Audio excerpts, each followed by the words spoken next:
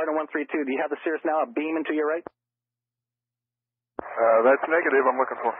Cardinal 132, he's now behind you to your right. 132. We'll start our start our base. Cardinal 132, affirmative. In the future, when I do give you traffic to follow and you don't see him, do not turn base leg because you were cutting him off. Sorry about that. Whoa, I guess he told him.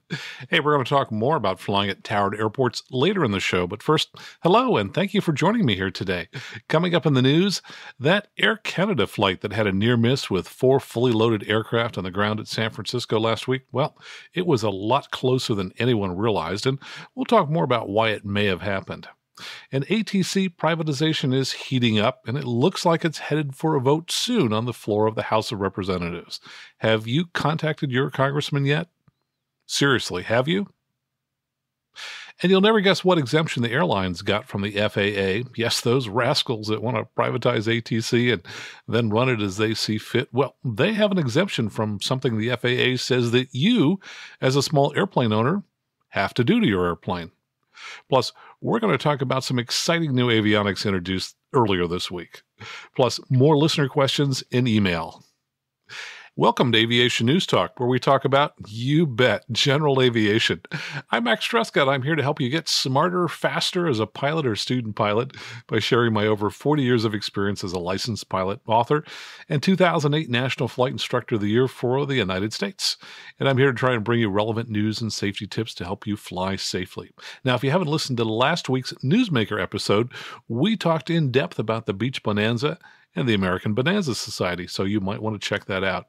And remember, if you like what you hear on the show here today, please tell your friends. After all, how else are they going to find out about the show? And special thanks to the nine more people who became Patreon supporters in the past week. All this and more, and the news starts now.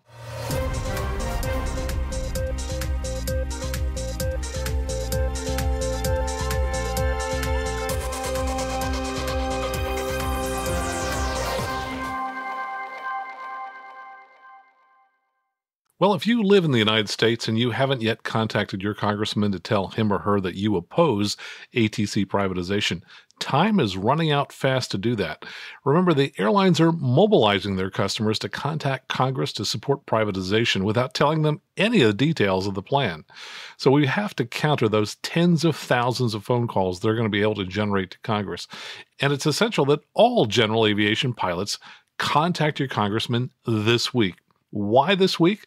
Because originally the bill was supposed to come up for a vote on the House floor this week, but it's been postponed a week. Now, if we can defeat the bill on the House floor, then ATC privatization is dead for the year, which is awesome. But if that bill passes the House, there's a real possibility that it will get signed into law, depending upon how the House and Senate ultimately decide to resolve the differences between their bills. Now, I'm sure many listeners have already contacted your congressman to tell them you oppose the bill. But for the rest of you that haven't done it, now is the time to act. So if you're driving, make a note that when you get to your destination, you need to take five minutes to go on the internet and generate letters to your representatives in Congress. It's awfully simple. Just go to govt, that's short for government, govt.eaa.org, type in your name and your zip code. Then review the pre written letter that says you oppose privatization, make any changes you like to the text of that letter, and send it. Guaranteed, it will take you less time to do it than I've been talking about it on this show. Remember, go to govt, short for government, govt.eaa.org. And if you don't take the time to contact Congress now, this week, we may all get stuck with a system that will raise the cost of flying, especially for general aviation. And a couple quick updates on privatization this week. TheHill.com says that the CBO, the Congressional Budget Office, has finished scoring House Bill 2997, which would privatize ATC, and they say it would add 20.7 billion to the federal deficit over the next 10 years. Also, both avweb.com and aeronews.net are reporting that Captain Chesley Sully Sullenberger is not a fan of ATC privatization, something he discussed in an interview with Yahoo Global anchor Katie Couric last week. But on the other side of the coin, we've lost a big advocate. In the past, Representative Sam Graves of Missouri has always been a staunch supporter of general aviation and has opposed past attempt to implement user fees. But this week, he announced that he supports ATC privatization, mainly because he says he's convinced the House to remove user fees from the bill. Well, that's well and good, but we all know that in the UK they also promised there would not be user fees, and years later they added them. So it's sad that we've lost a strong advocate for GA on this particular issue. And here's the kicker to all this Turns out that the airlines have an exemption from ADSB out requirements. Who would have thought? This is something I discovered while listening to the House hearings on the uh, privatization bill. So I did some research, and what I came up with was an article from AIN Online from October of 2015. And in it, Matt Thurber says airlines and general aviation owners and operators. So I misspoke on that uh, earlier. It's not just the airlines uh, they can apply for an exemption to part of ADSB out equipment requirements, which obviously would save them some money. Now, the exemption basically lets them use a less capable GPS, in other words, a non WAAS GPS, rather than the WAAS compliant uh, GPS required for the rules. So it does require an upgraded transponder, uh, but essentially it allows them to continue using an existing non WAAS GPS. Now, this is a rather interesting statement from Ric Peri, Vice President of Government and Industrial Affairs for the Aircraft Electronics Association. He said that both Boeing and Airbus are behind the curve on having service bulletins for the airlines to install ADSB, hence the need for a delay. The delay is only for the position source, not the ADSB transponder transmitter. So, yeah, the airlines, these people who are going to uh, rapidly modernize ATC, apparently they can't get ADSB into their airplanes. But we should trust them with running ATC because we're sure they'll do a better job than they're doing with installing ADSB. So remember, if you haven't done it, contact your congressman. We don't want these jokers running air traffic control. Hey, moving along, let's talk about uh, SFO and an update to that near miss of the Air Canada Flight 759 that nearly landed on a taxiway at SFO on top of four fully loaded aircraft that were lined up on the taxiway. Well, this week we found out that near disaster was much closer than we thought it was. Here's what's happened since our news show last week on Tuesday. On Wednesday of last week, I ran calculations estimating that Air Canada 759 had it not gone around, would have touched down on the taxiway in just 14 seconds, or it would have reached the top of one of those airliners within 11 seconds. I posted those calculations on my maxtrescott.com blog, and they were immediately picked up by the Mercury News, which is our San Jose, California newspaper. Now, that's the paper that first broke the story of the Air Canada incident early in the week. And they wrote a story based on my calculations which was on the top of their website all day Wednesday and was on the first page of the local section of their printed newspaper on Thursday. Later on Thursday, I was interviewed by KPIX, the local CBS affiliate, for their 11 p.m. news. And then on Monday of this week, FlightAware.com provided new high resolution data to the Mercury News that showed that the aircraft was even closer than we thought it was. Those new data show that, that the aircraft was at 106 feet above the ground at the time they were told to go around by ATC. At that time, they had already passed over two aircraft. Now, aircraft number three in front of them was United Airlines 863, and that was a Boeing 787, which is about 55 feet high. So at the time of the go around, the Air Canada flight was just 51 feet above the height of that aircraft. But because of the inertia of the aircraft and the brief time it took for the jet engines to spool up, the Air Canada flight descended to 81 feet, or just 26 feet above the top of the airliner in front of it, before it was able to achieve a positive rate of climb. And this week on Tuesday, the Mercury News produced a simulation, essentially an animation, that showed exactly where the aircraft was at every point in time, how high it was above each of the aircraft, and that's synced with the air traffic control audio. I posted a link to that on my Patreon page earlier in the week, and you can find it by going to aviationnewstalk.com slash awesome. And let's talk briefly why this event may have occurred. We know that runway 28 left was not lit because repairs are being made to the runway typically an aircraft coming into San Francisco is used to seeing two lit runways, 28 left and 28 right. What this pilot apparently saw were the lights of 28 right, the runway he was supposed to land on, nothing to the left of it, and instead they saw lights on the taxiway from the four aircraft, and those aircraft lights apparently led him to believe that that was a lit runway. Now, if it hadn't been for the fact that runway 28 left was closed, the aircraft would never have been on taxiway Charlie. They would have been over next to 28 left, which is the air, the runway used mostly for departures. So it was an interesting uh, coincidence that aircraft happened to be uh, on a taxi where they really are that led the captain to believe that the taxiway was indeed 28 right. Now, they missed some obvious cues. You know, for example, there was no approach lighting to the taxiway, uh, whereas there was approach lighting to 28 right. Uh, we also know that there was a big red X, a lighted X for uh, runway 28 left, so they missed that as well. And you would think that they would know from uh, their NOTAMs that the runway is going to be closed a, a, commercial pilot contacted me earlier this week, and she said that they get all of their NOTAMs, their their entire uh, dispatcher briefing package, only about an hour before they leave. And she said it runs typically about 18 pages. She said it's really tough to get through all of that and find every little tiny NOTAM, as well as do all of the other things that they need to do to prepare the aircraft before they leave. So it's possible they weren't aware that 28 left was closed. But having lined up with the taxiway, I think they then suffered from confirmation bias. Now, confirmation bias is when you look at information and you go ahead and trust information that supports what you already believe. So in this case, he believed he was lined up with 28 right. He believed, therefore, the lights that he saw were not airplanes, but that they were runway lights. And you ignore things that don't fit uh, with your perception. So in this case, it was easy to ignore uh, that there was no approach lighting into uh, the taxiway uh, to uh, not see the uh, the large X off to the left side. So I think that once they locked in on landing on the taxiway, their confirmation bias kicked in, and they just continued to believe that what they were looking at was indeed the runway. So I think that's a good lesson for all pilots. It's probably the reason that aircraft sometimes land at the wrong airport. Once a pilot spots a an airport, they believe it's the correct airport, and then they start to exclude all the clues that would have told them that no, it isn't the airport. So be aware of confirmation bias when you're flying. And I've just posted one of the television interviews I did about the Air Canada incident. You can find that on the Patreon page at aviationnewstalk.com slash awesome. And that's with NBC Bay Area News. And in other news, this too from the San Francisco Bay Area, from avweb.com, authorities in Sonoma, California are investigating the deployment of a Cirrus parachute at low level to see whether that was a factor in the death of the pilot. Now, I think this is the first fatal accident that Cirrus has uh, had this year.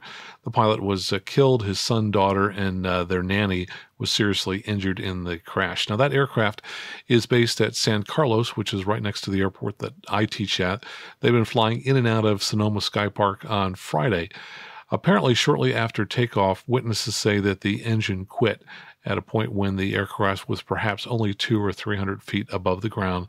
For reasons unknown, the pilot pulled the parachute handle, and unfortunately, that's below the recommended altitude for deploying the parachute.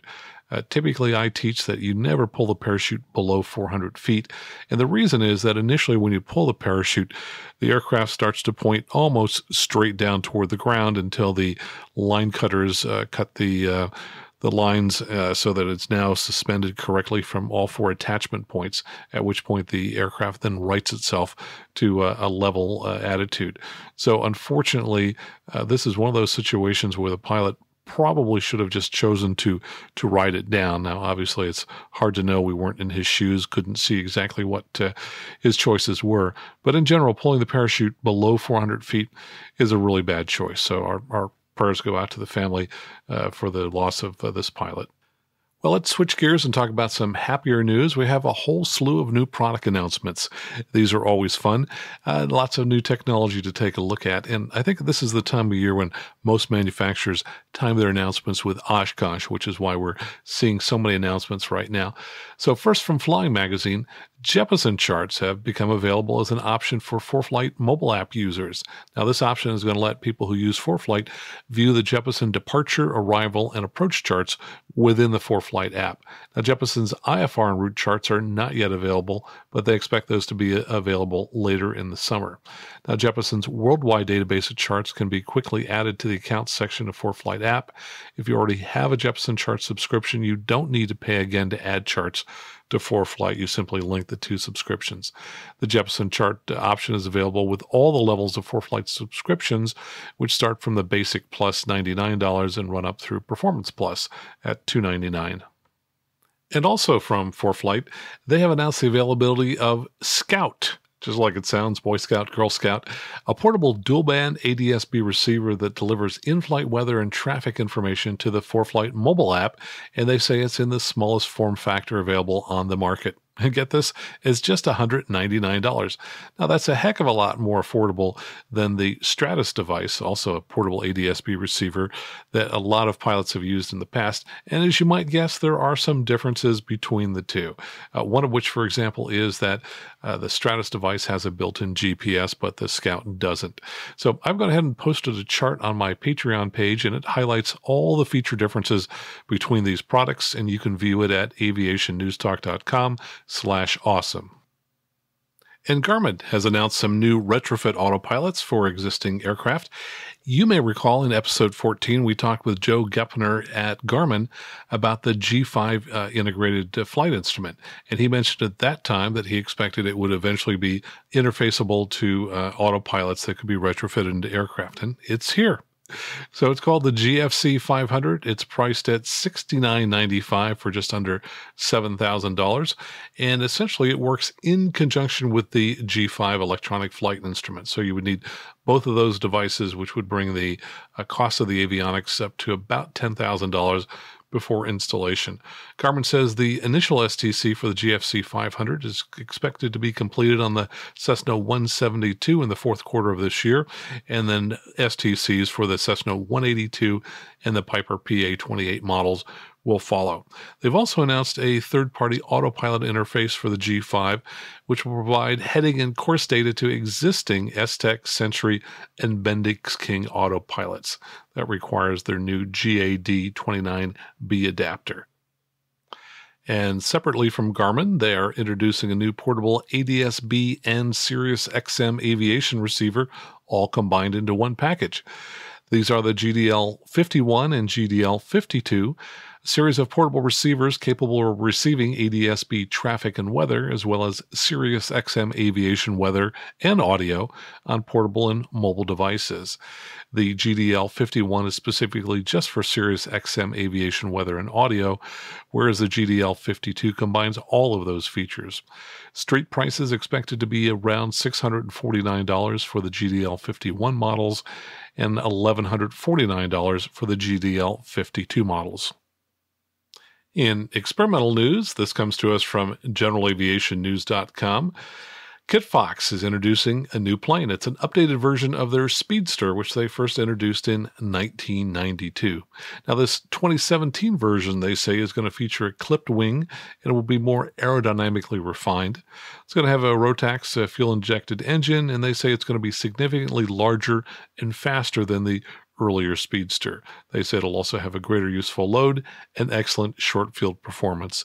Now, the photo of this thing is really beautiful, so I've gone ahead and posted that for you. Just go to the Patreon page, aviationnewstalk.com slash awesome. And finally, from aeronews.net, former Anheuser-Busch CEO August Busch IV was arrested Monday after landing his helicopter at a small office complex in Swansea, Illinois, just east of St. Louis, Missouri. The Swansea police officers were dispatched to report of a helicopter that landed for unknown reasons. Upon their arrival, the helicopter was already on the ground in a parking lot. But after looking around, they thought that the aircraft was a little too close to nearby obstacles. They were concerned about the safety, and so they contacted the FAA, which asked them to forward photographs of the landing.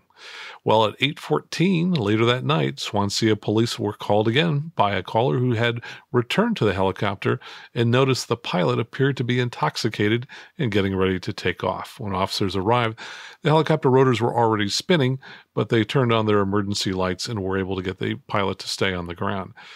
Television station KTVI reports that, according to court records, police believe Busch may have been under the influence of a controlled substance. His wife told officers that he suffers from anxiety issues, but was off his medication due to other treatment for infertility. While searching the helicopter, authorities found several loaded weapons and several containers of prescription drugs. Busch was CEO of Anheuser-Busch from 2006 to 2008 when it was purchased by InBev, a multinational brewing company with headquarters in Belgium. Thus far, no charges have been filed. And that's the news for this week. Coming up in a moment, we talk about flying the traffic pattern in a Cessna 172, plus listener letters. One listener asked us about the use of flaps during crosswind landings, and another one asked about medical marijuana. Yeah, we'll be right back.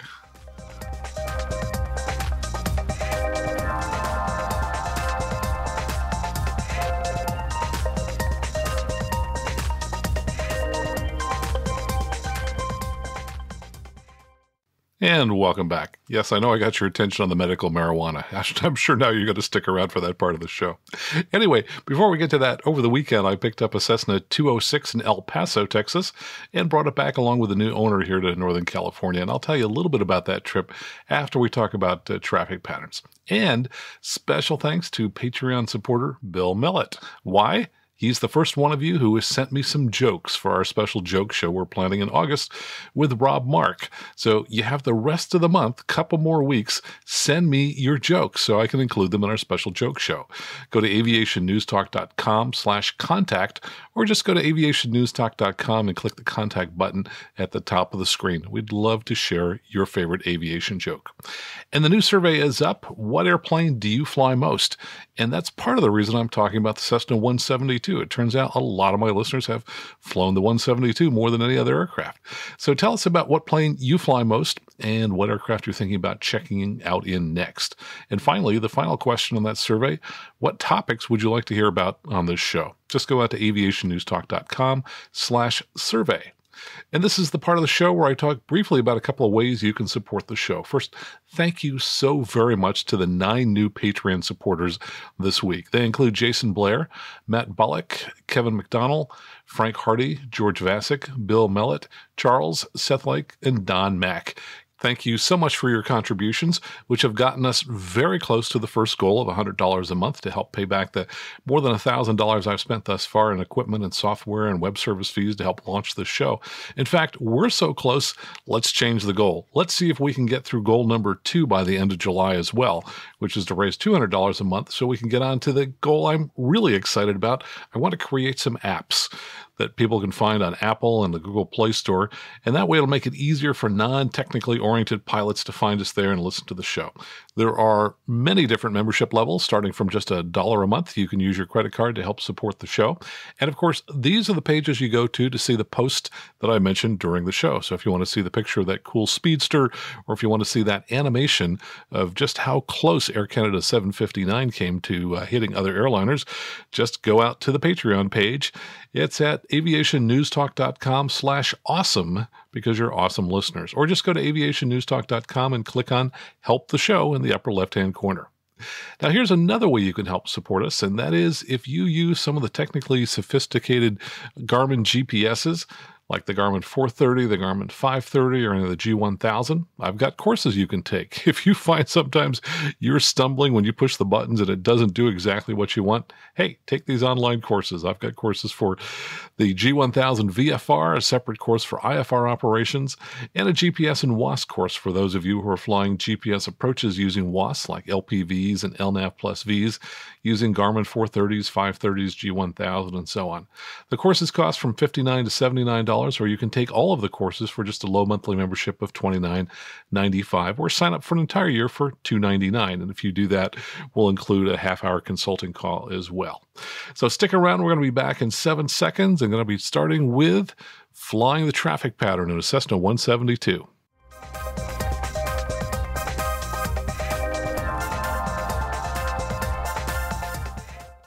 And welcome back. I was a little inspired to talk about traffic patterns after an aircraft uh, almost cut me out of the pattern earlier this week. You heard that audio earlier. I'll talk more about that. A lot of what I'm going to talk about is most applicable to busy towered airports. So if you have a towered airport where they get one or two landings an hour, yeah, you might not uh, see the necessity to uh, pay attention to all of these details. But it's pretty good stuff to think about uh, for when you do show up at a busy airport. So, for example, I have been cleared to land as number six six at the Palo Alto airport. Now, that's the worst that I remember. Pretty routinely, I'm cleared as at number three or number four to land. So things are pretty busy. A certain amount of discipline is required both by the pilots and the controllers to make it all work out. So, first things, let's just talk about uh, left traffic patterns and right traffic patterns and why you can end up with both at a towered airport. Now, for non towered airports, there is uh, usually a standard, which is if it's not marked on the chart, it's going to be left traffic, which means you make a series of left turns to reach the, uh, the runway. And if it is marked on the chart, then it would be right traffic. A lot of people get confused when they go to a towered airport and say, well, why isn't it left or right? Why is it both? My experience has been that usually the tower wants to help you out. And so they will assign you left or right traffic depending upon which side of the field that you're coming from so that you can uh, reach the runway without having to cross overhead. So if you're coming from the west and the runway runs north south, they would uh, assign you to a traffic pattern that's on the west side of the runway. They wouldn't make you cross the field to reach the other side. And at Palo Alto, for example, we have just a single runway, and at times they will be feeding traffic from both the left pattern and the right pattern to the same runway, which makes it particularly tricky because you have to look across the other side of the field at an aircraft on a parallel downwind, which may be about two miles away. That makes it pretty tough. Now, here's an expression which years ago I didn't know exactly what was meant by it. When the tower says that you should make right traffic, I always kind of thought, well, you could sort of enter on the downwind or, you know, whatever you wanted to do. And over time, it became clear to me, no, that's not what it means at all. The phrase make right traffic means fly to a position from which you can enter the traffic pattern on the 45, which basically is a 45 degree angle headed to the middle of the airport. And when you reach that midpoint, about a mile away from the airport, you then turn downwind and fly parallel to the runway to uh, complete the uh, traffic pattern. At that point, you should be at the traffic pattern altitude when you're on the 45. And the check ride tolerance on that, by the way, is plus and minus 100 feet, which is why, as CFIs, we're always telling our students, uh, hey, you got to be at traffic pattern altitude because we don't want you to, to blow your check ride by being 100 feet off that altitude when you're flying on the downwind. So, just to be clear, when they say make right traffic, that doesn't mean enter on the downwind. If they want you to enter on the downwind, they will tell you that, at least at most airports that I've been to. Now let's talk about taking off. Suppose you are taking off and you wanted to make a right crosswind departure, which means you're climbing up to maybe 500 feet or so and making a right turn. Well, if there's somebody entering on the 45, that might put you in conflict with that inbound traffic. So if you are wanting to make a right turn, the tower might extend your upwind. So instead of having you turn right, you know, at 500 feet or whenever you want to turn, they may tell you that they will call your crosswind turn, which means they want you to extend the upwind, continue flying straight out until they tell you to turn, thereby helping you avoid the aircraft who's inbound on the 45 or who is about to turn downwind. Now, let's say you are on the upwind and you are following another aircraft in the pattern that might be slower. You might decide on your own to go ahead and extend your upwind a little bit further just to create a little bit of extra space between yourself and the slower aircraft. You can also sometimes extend your downwind uh, beyond the uh, point where your the aircraft in front of you turn to also create a little bit more space between yourself and a slower aircraft. This is really important if you're flying a faster airplane, uh, something perhaps faster than a 172, but even a 172 can get stuck behind a slow Citabria or a Skycatcher or something that's moving at relatively slowly. So, spacing yourself out in the pattern is important because the tower is responsible for sequence. They'll tell you you're number one, you're number two, but you, the pilot, are responsible for the separation, which is the distance between you and the aircraft in front of you. So if you crowd the airplane in front of you and you have to go around, well, it's your fault. You should have noticed that perhaps you had a slower aircraft and create a little bit of space, maybe slow down so that you uh, didn't come up on top of them. So remember, the tower is responsible for sequence. The pilot is responsible for the distance between you and the aircraft in front of you, which is the separation. Now, when I turn to the downwind, I'm typically anywhere between about 0.7 and uh, maybe 1.1 nautical miles away from the runway that I'm flying parallel to. And I know that because I'll usually bring out the GPS, maybe the nearest function, and just see what the distance is as I fly by the airport. And with a Cessna 172, you can often just look out and see where the runway falls on the strut. Uh, and that can also help you kind of space yourself at a consistent distance every time you fly a, a downwind. And it helps to fly a downwind which is about the same distance every time because that's going to give you a base turn which is about the same length every time, which helps you with consistency. Typically, I'm going to start my landing sequence after I've flown the downwind the entire length of the runway, and I'm now abeam the numbers of the runway I'm going to be landing on. Unless, of course, my traffic that I'm following is still on final and it hasn't passed me yet. In that case, I'm going to stay level. I'm going to keep the power on. I'm going to maintain my altitude. I'm just going to continue to fly my downwind further until that traffic on final passes my wing, or sometimes goes a little bit beyond uh, my wing or I might extend my downwind if the tower tells me to do that. For example, they may want me to follow traffic that's coming in on a long straight in approach. And if I start my landing sequence at the normal point, I would be turning in front of that point. So the tower might say that they'll call my base, which means keep flying the downwind until they tell me to turn, which would put me behind the aircraft on that long straight in approach. Or they might tell me to extend my downwind just so they can create a little bit of space between me and the runway so that they can squeeze in one or two departures of aircraft that are waiting to take off before I arrive at the airport. Now, whenever you have to extend your downwind and you're flying a larger pattern as a result, that increases the danger that the aircraft following you might turn early and cut you off in the pattern. And of course, the real danger is not that they might cut you off and get in front of you, but that they might hit you. So, anytime you have to extend your downwind, be really cautious and kind of watch you know out through the left and the right window and make sure the airplane behind you isn't starting to turn in front of you. And if that happens immediately tell the tower yeah you know your brief call sign and that the downwind traffic is cutting you out. And the tower should then tell them to return to the downwind. And in fact uh, anytime i'm a really long final i expect to be cut out so I'm always watching the people on downwind to make sure that they fly parallel to me and they don't start to turn in front of me. Uh, but let's talk about the normal case where everything goes right. Let's forget about having to extend the downwind Normally, if there's nobody in front of me or if the person in front of me is just about to land, as soon as I reach the numbers, if I'm in an older Cessna 172, one built before 1986, a carbureted version, I will have already pulled on the carburetor heat, perhaps about midway down the downwind, abeam the middle of the runway. And as I reach the numbers, I'm going to pull the power back to about 1500 RPM. But if it's a later model, a fuel injected 172 that was built after 1997, then there's no carburetor heat to pull. But when I reach the numbers, numbers, I'm going to pull back to about 1600 RPM. I find those aircraft need just a little bit more power. I'm going to apply some back pressure to the yoke so that I continue to fly level and don't descend. And then I'm going to add 10 degrees of flaps. Now, the aircraft is going to be slowing as we fly level. When it reaches 80 knots, I'm going to push forward on the yoke to maintain that 80 knots and then trim the aircraft with a trim wheel so that the aircraft stays at that speed. I'll also check my vertical speed indicator to see that I'm descending about 500 feet per minute. Now, of course, the vertical speed indicator does lag perhaps five or six seconds, so you need to wait that amount of time after you make a pitch change to see if your new descent rate uh, is what you want it to be before you start making uh, further corrections.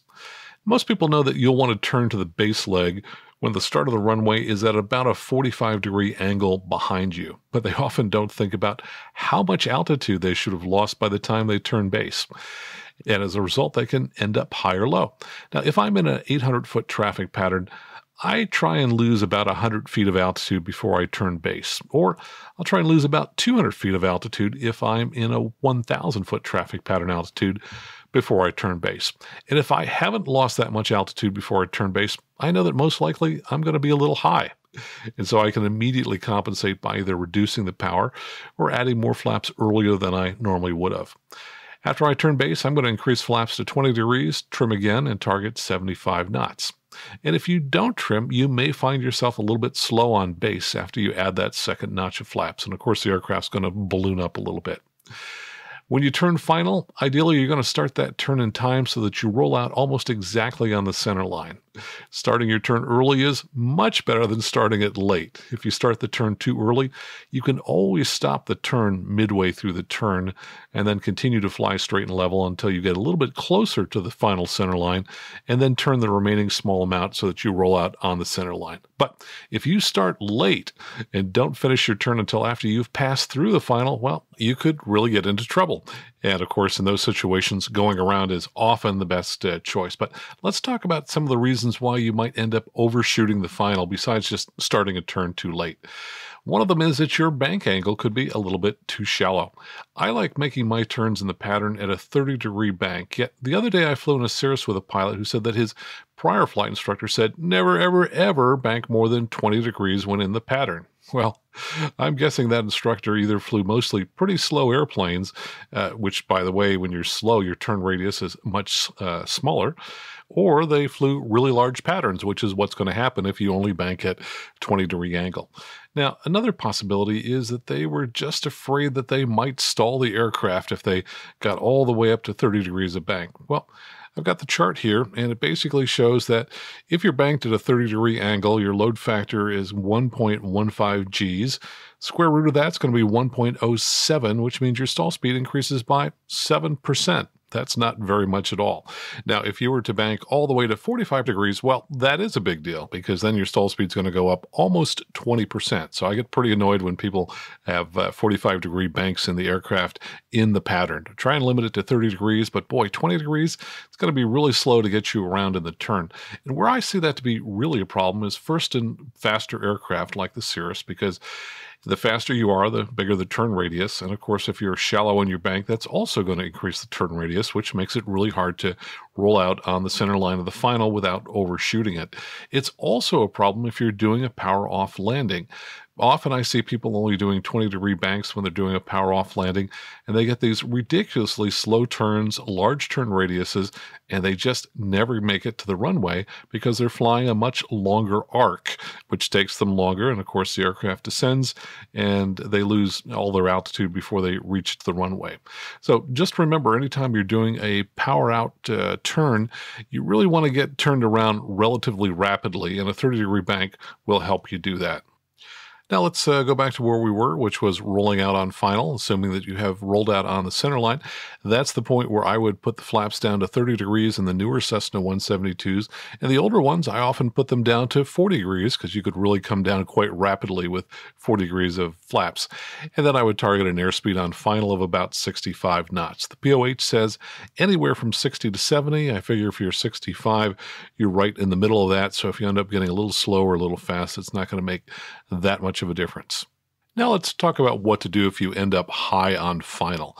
First thing you want to do is use your power and your flaps first. So if you're high, go ahead and pull the power all the way back if necessary.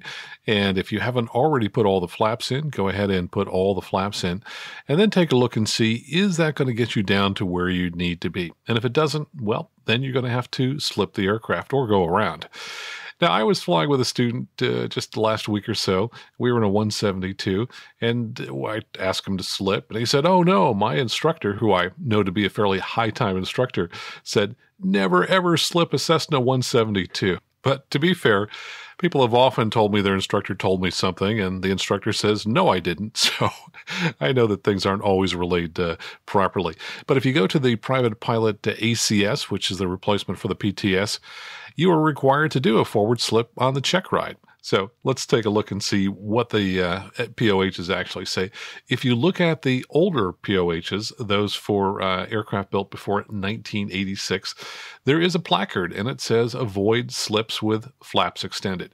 Now it doesn't say don't do them. And there is another section that says the fuel selector valve should be in the both position for takeoff, climb, landing, and maneuvers that involve prolonged slips or skids. Operation from either left or right tank is reserved for cruising flight. A better explanation for why you might not want to uh, slip aggressively is found in the 172S POH, which is the, for the latest model of Cessna 172. And it says when landing in a strong crosswind, use the minimum flap setting required for the field length. If flap setting greater than 20 degrees are used in side slips with full rudder deflection, some elevator oscillation may be felt at normal approach speeds. However, this does not affect control of the airplane. So, what they're saying essentially is that you might occasionally, when you do a slip, find that the yoke is going in and out a little bit all by itself. Now, I've got thousands and thousands of hours in 172s, and only once have I seen that to have been the case. Yep, there was a little bit of oscillation in and out of the, the yoke when we did uh, a slip, but have done tons and tons and tons of slip, never seen any kind of problem with that. And by the way, all of these uh, recommendations on slips only apply to the Cessna 172. There is no issue for the 182, the 206, or any of uh, those type aircraft. So I think people should consider using slips. And uh, my experience, has been quite good with them. Uh, and even if you do see a little bit of oscillation, it's kind of more of a curiosity, as far as I can tell, rather uh, than any kind of uh, problem. Okay, so we have just talking about the forward slip, which is a technique for losing altitude.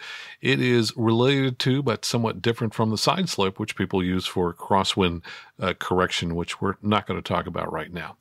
Okay, so now that we've talked about different uh, tips for getting around the traffic pattern, let's talk about that audio I played at the very beginning of the show, which was in the traffic pattern at San Carlos Airport a couple of days ago.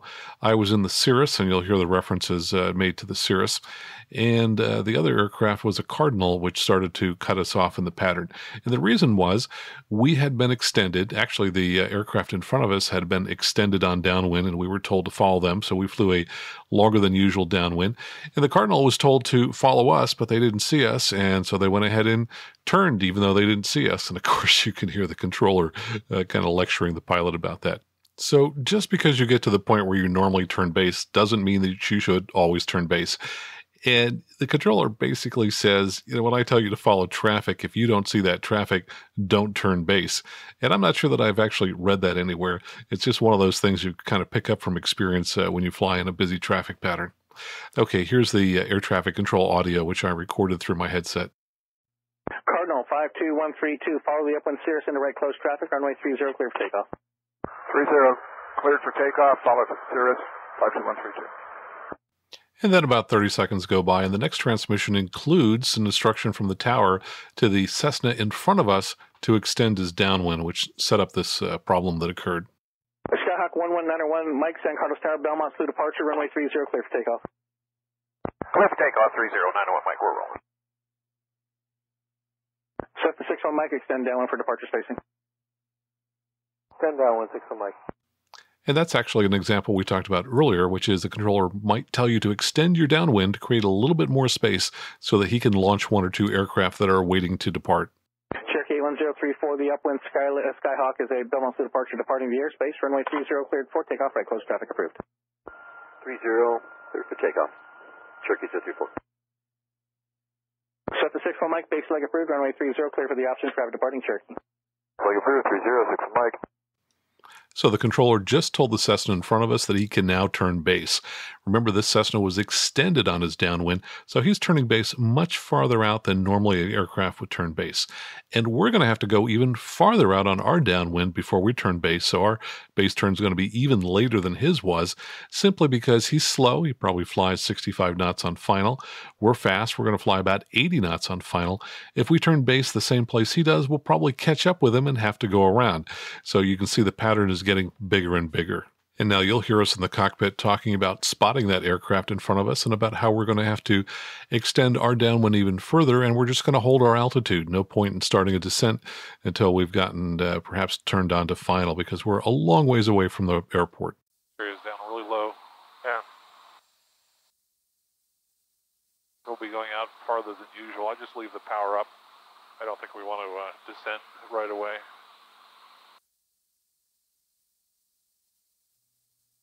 Looks like he took a really down long downwind. But that's right, the tower told him base approved. The tower extended him, that's why. Cirrus 3 Charlie Alpha, follow Cessna, turning a mile and a half, final heading to your right, number 2, runway 30, clear for the option. Number 2, 303 Charlie Alpha. Okay, next you can hear me talking about how he's going to be really slow. And then I'm looking to see what my distance is from the airport, and I say that it's two miles. And I know that on a normal glide slope, you drop about 320 feet per nautical mile. So that tells me, hey, if I'm two miles out, I should be up about 640 feet at that point in time. He's going to be really slow, so we're going to have to, Yeah, speed checks. We're going to, have to give him uh, lots of room. Leave the power up. We're going to need all this altitude.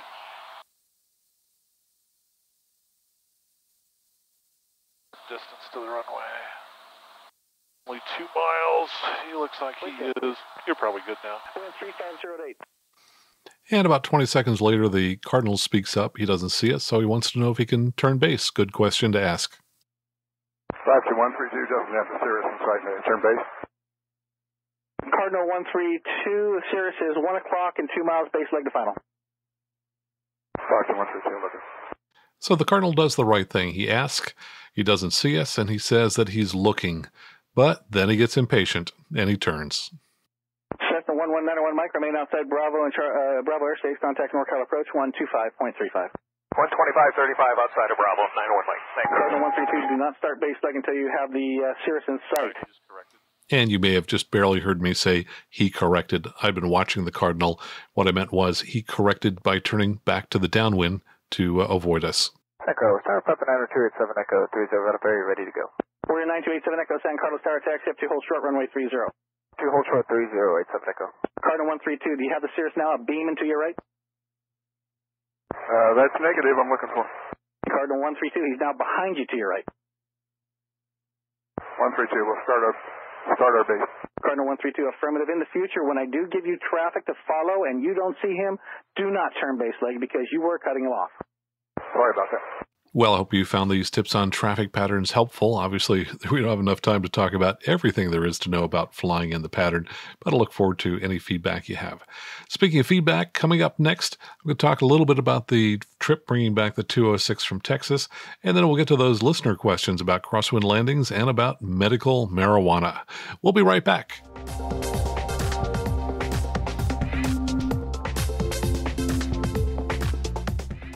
And welcome back. Before I talk about the trip from El Paso, a quick thank you to two people who left iTunes reviews. One from Australia, that's uh, Patrick, RV10 Free to Fly, who says lots of nice things. Thank you, Patrick. And this one came in a few hours ago after I already recorded the news section where I implored you to go ahead and contact your congressman for uh, privatization. And this comes from Lazy Flyin, and he says, I want to thank you for your efforts in the podcast. I have emailed and contacted my senators in regard to ATC privatization and voting against it. I was going to do it anyway, but you drilled it into my head like any good CFI so that I couldn't forget what I needed to do. Mark, thanks so much for doing it. So, like I said earlier, if you have not contacted your representatives in the House in particular, please do that today. All right, let's talk about the trip from El Paso. I originally was scheduled to bring back the 206 three weeks ago with the new owner, and I told him, you know, I think we really ought to postpone the trip because it was supposed to be 113 degrees in El Paso. We needed to stop in Scottsdale for a meeting he had planned, and uh, the temperatures there were supposed to be about 116, and of course, it was forecast to be uh, about 120 in Phoenix that day as well. So the uh, POH for the Cessna 206 only has data up to 104, and frankly, I don't like flying in what's hotter than that anyway. So we uh, just did the trip this past weekend where it was more than 10 degrees cooler, so it really made it much more pleasant. Now, the new owner did uh, what I've suggested to other folks in the past. He went down a day ahead of time. Uh, and that way he was able to take care of uh, all kinds of paperwork uh, before I arrived. Uh, for example, even at the last minute, he found that the, some of the ADs, the airworthiness directives that had been done, had been not uh, signed off in the logbook. So he was still getting that done when I arrived uh, late on Friday. Fun thing, uh, I didn't realize that NASA's Super Guppy is based in El Paso. So we got to see that. I took some pictures of it. And you know what? I think I'll post those on the Patreon page so you can uh, see what the Super Guppy looked like when we went by it. Anyway, we got to the airport bright and early on uh, Saturday morning. Uh, we had purchased uh, sandwiches the, the night before from uh, Subway, so we had our lunch with us and we were all ready to go. We got to the airport about 6 a.m. Engine start was about 6:40 a.m. and we took off soon after that. Now this 206 is equipped with Flint tanks, and I think the owner said that gives them a total of 130 gallons. Uh, the Flint tanks that I had on the Cessna 210 I owned years ago uh, gave us a total of 120. We purposely did not fill up those tanks, which made us about 30 gallons lighter, which made it a lot easier to climb out on a hot day. Uh, and so that was also the case uh, when we refueled in Scottsdale. We didn't uh, fill them up either.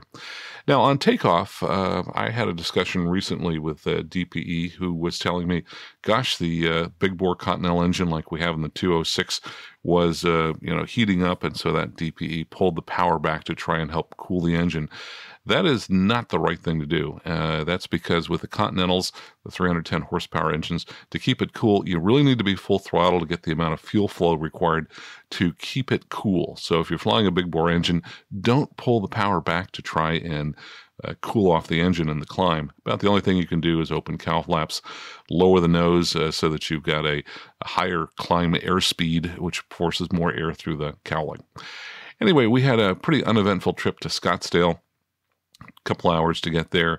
Arrived about 8:30 a.m. where it was already in the low 90s, and when we left at 10 a.m. it was 98 degrees. So we were happy to uh, get moving on from there. Uh, climbing out of Scottsdale, we climbed to 8,500 feet. And early in the trip, we could tell by looking at the fuel range ring that Mammoth Lakes, which was our destination in California, high up in the, the mountains, was beyond the point where we would have reached our one hour of reserve fuel that we had set.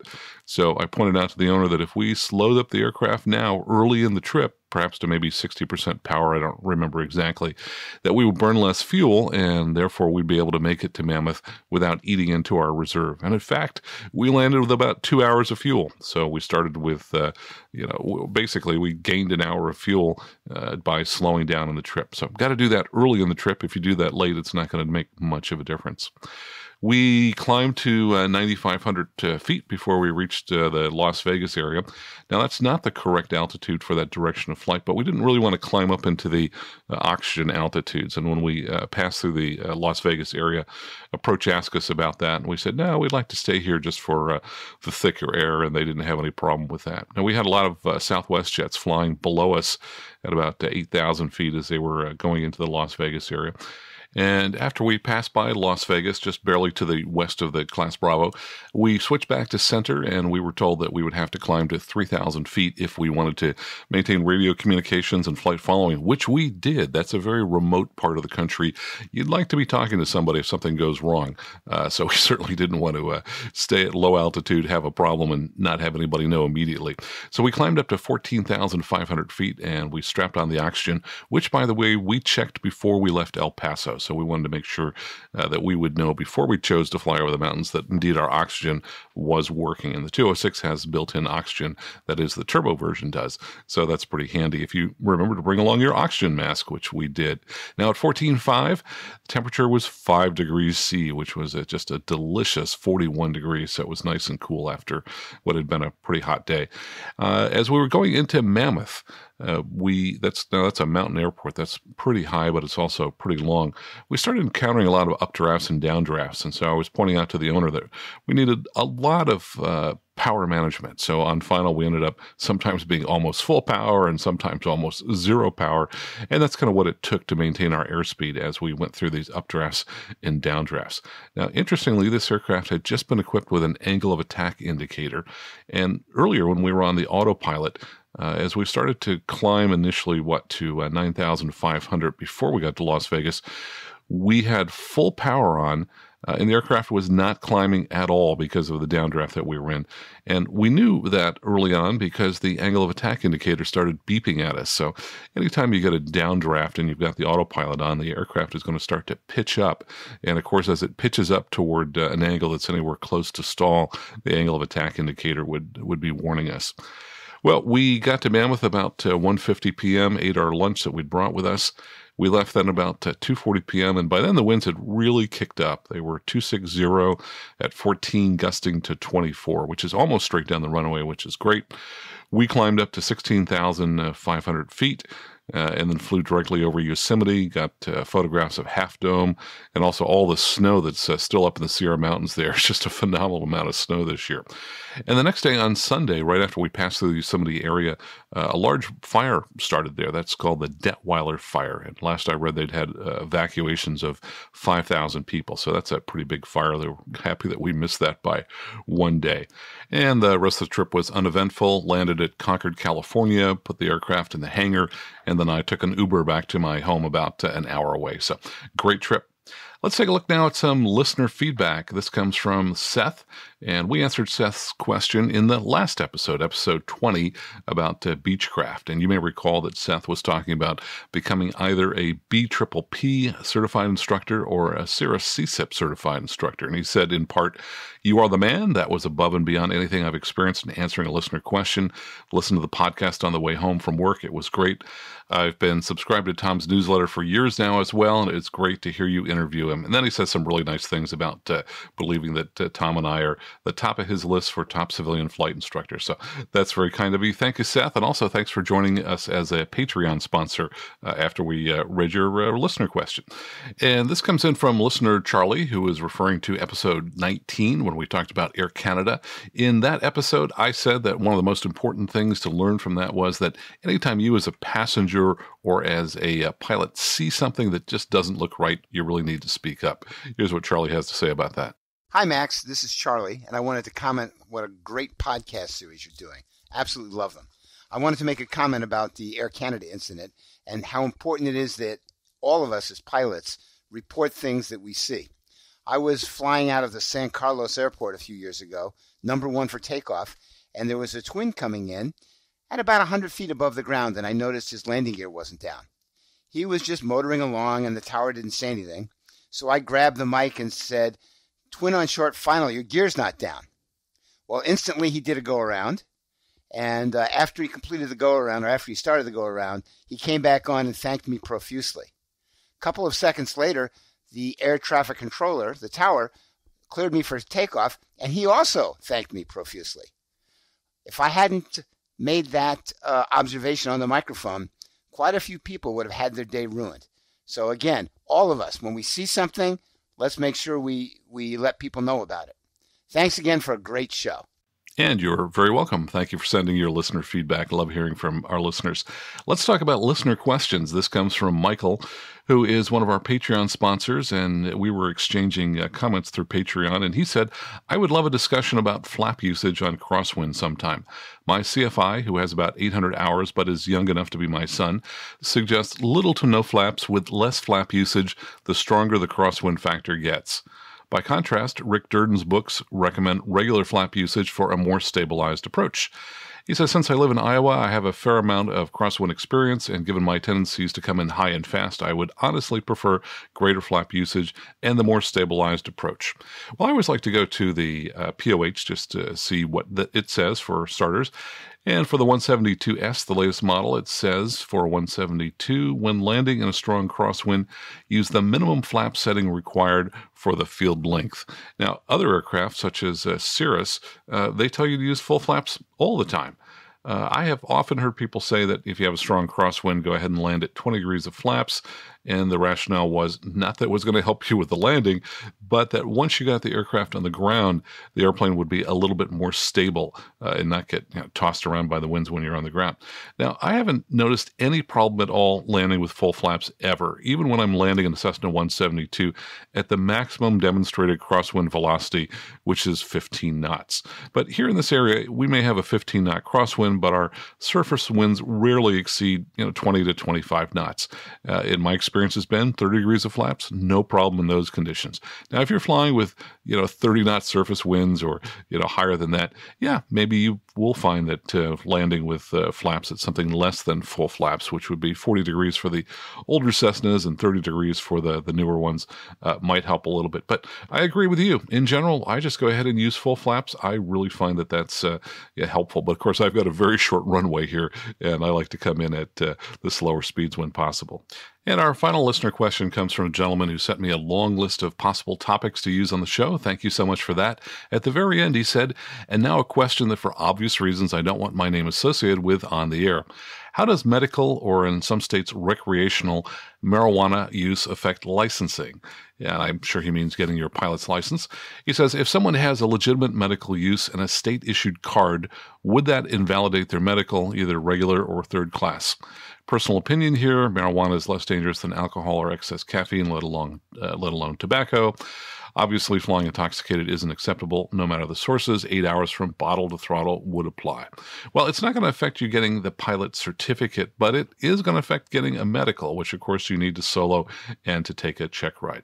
And it was pretty easy to find uh, online. The FAA website has the guide for aviation medical examiners, that's AMEs.